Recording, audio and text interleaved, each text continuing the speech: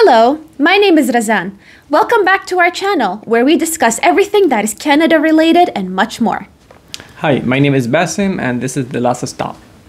In today's video, we're going to discuss the top three things that you should do when you arrive in Canada. Yeah. So today in this video, uh, we will be talking about three things: applying for uh, SIN number, applying for OHIP card, and applying for uh, or opening a new account, a bank account. So first of all, uh, applying for a social insurance number, short for SIN number. Now you can go either to Service Canada to do that, or you can do it uh, online. Uh, there are so many documents requirements uh, for you to get the SIN number, but SIN number is super important in Canada when you get uh, to get paid and also for any tax filing, any government uh, related documents. It is important for you to have the SIN number, which is nine digit number.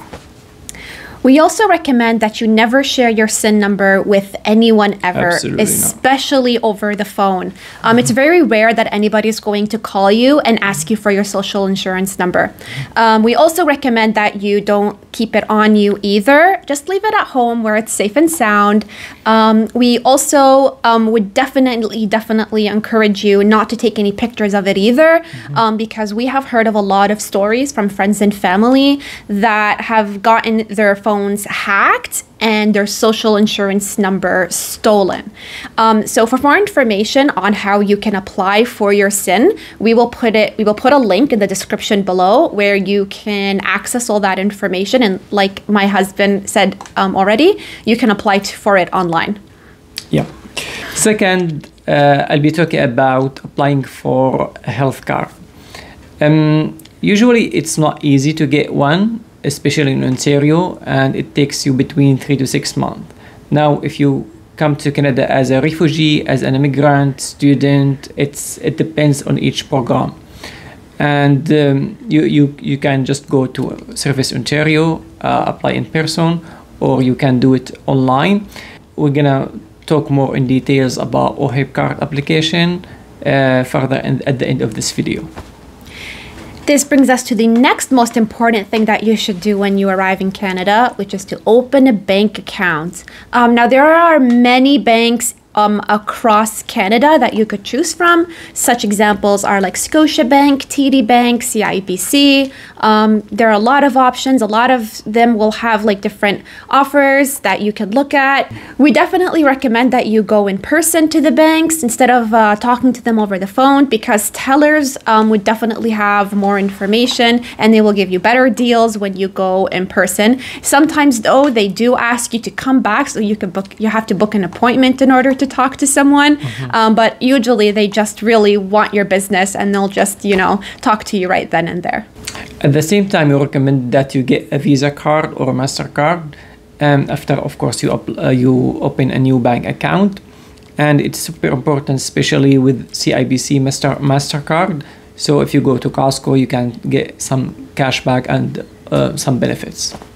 Just to add to that, always make sure that you pay off your Visa and your MasterCard. Now, I know sometimes uh, we could forget and, you know, life is busy, um, but if you don't pay them back, that does affect your credit score, which can uh, possibly negatively impact you. Yeah. A good credit score is super important in Canada because if you want to go and buy a car or buy um, a house, the first thing, the first thing they're gonna ask you about is your credit score. So you have to pay back your your Visa or your Mastercard to get um, a good score. Number two on our list uh, today is uh, you get a phone plan. Uh, we talk about it um, in a separate video. You can see the link here or here or in the description below. Uh, we we made a very good video about it, and it's so much details in it. Number three on our list is furnishing your house. Now, of course, um, after you get a place, you're gonna look to buy some stuff to furnish it. Um, now, we would recommend that you go to IKEA. Um, IKEA is incredible because it has a huge selection of stuff like thousands of them, and usually the prices are quite low.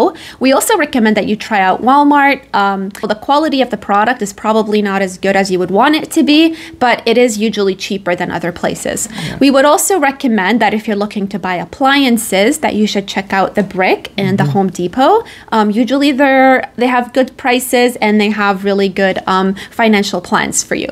Um, now, if you're looking to buy um, things like uh, sofas and couches, we definitely recommend Leon's. They are known to have the best quality of of couches and um, and cushions, etc.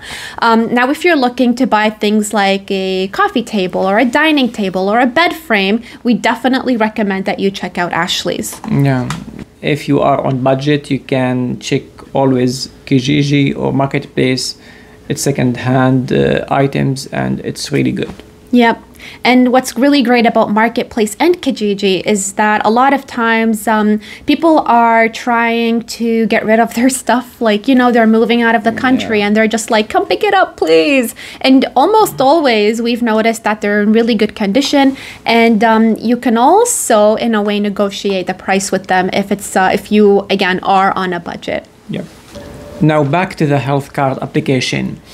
To qualify for OHIP card, you need to meet all the minimum requirements, uh, which is one, be physically in Ontario for 153 uh, days in any 12 month period.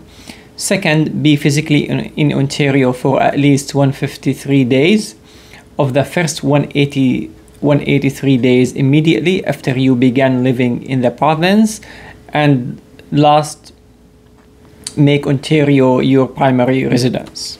So once you have met all of those three minimum requirements, you must meet at least one of these additional requirements, and they are you are a Canadian citizen, you are an Indigenous person, are a permanent resident, are applying for permanent residence in Canada, or you are in Ontario and are working full time with a valid work permit or you are um, a protected person or a refugee.